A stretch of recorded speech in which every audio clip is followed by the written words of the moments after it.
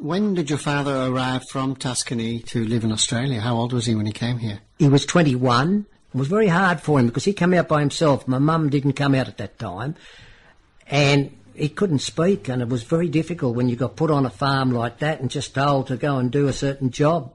So it took him a long while to get mum. It took him about six and a half years before mum arrived. He borrowed the money from a bloke called Fellini's, who was a well-to-do man those days, and he borrowed money off him to bring my brother, who was born before my father came uh, to Australia.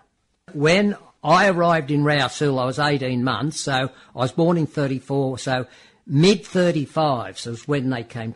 They came over here for a new living, and Dad was good at what he'd done. In he was a good farmer. He worked hard. He taught me how to work hard, and my brother Edo. It was one of the things he instilled on us. If you want to get anywhere in life, you've got to work. Firstly, he had to go and get a job because he had no money, and he worked at Riverstone Meatworks for quite a few years.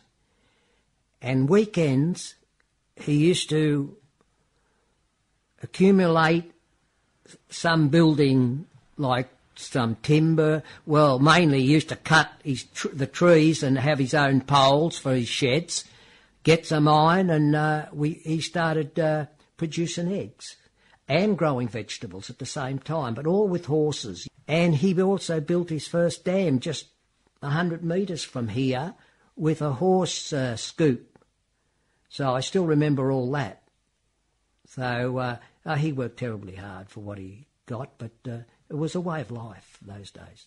Mum and Dad used to make their own cream. They used to make all their cheeses. I remember Mum staying there for hours making a cheese roll. You know how you used to get a piece of tin about that high, and, and, it would be that long, and you'd put it around the cheese, and you'd keep on pressing it and pressing, making it narrower and she used to spend hours at, doing it. And it was beautiful cheese. It was really great.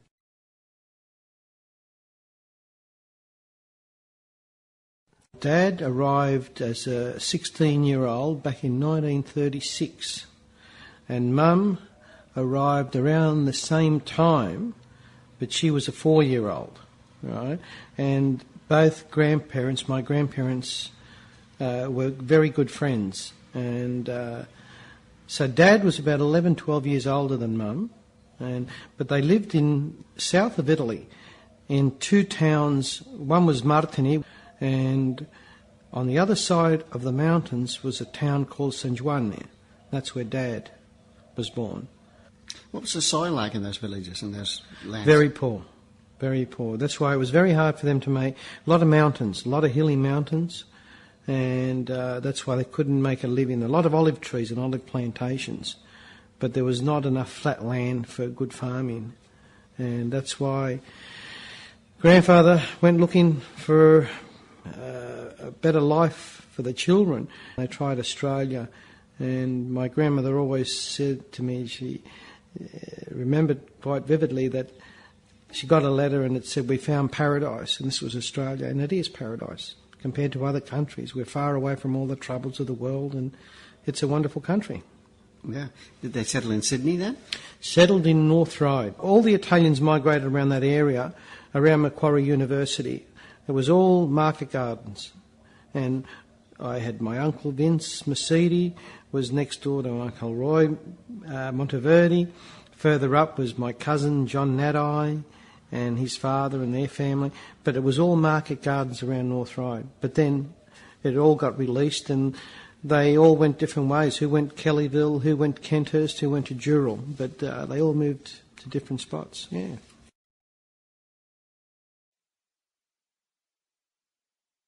My village is Manikata, right. which is in the St Paul's Bay area. Um, from our house, where we lived as children, you could see you could see the beach and the rocks, and it was really nice. After school and on, we helped on the farm. When it was holidays, we, we were with mum and dad as we got got a little bit older. Then, if you could help, you helped. Well, I was born in uh, July 1946, and I was born in Mgarr, which is in Malta, of course.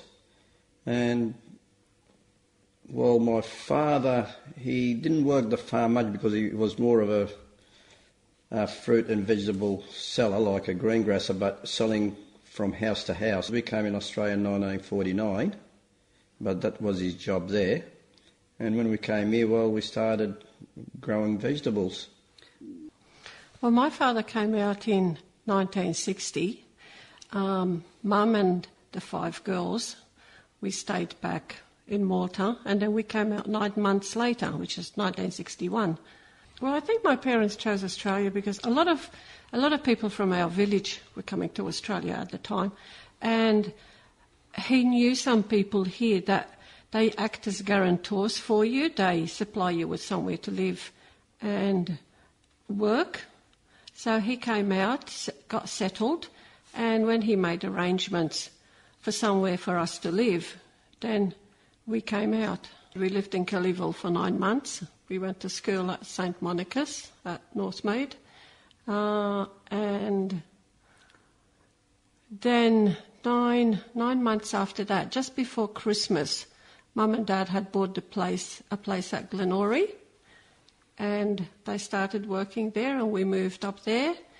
And of course, we helped them in the farm, and we just basically worked together and lived together as a family. And it was it was a great opportunity for us to, like for mum and dad, to start a new life for us.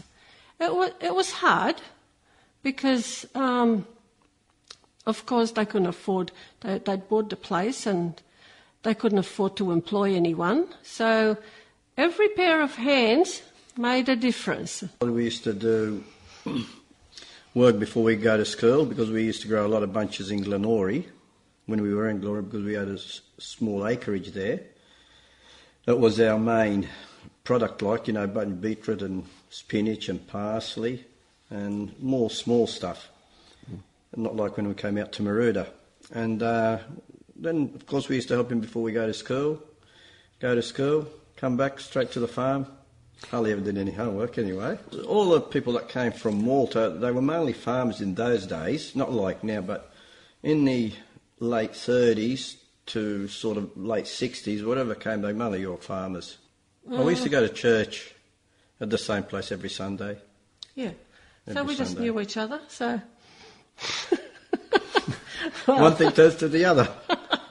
Well, we got married at Kellyville, actually, because um, that was there was a Maltese priest there, yeah. and mum and dad wanted us to get married in the Maltese community. Um, we got married in 1972, and then we moved to Maroota straight after that.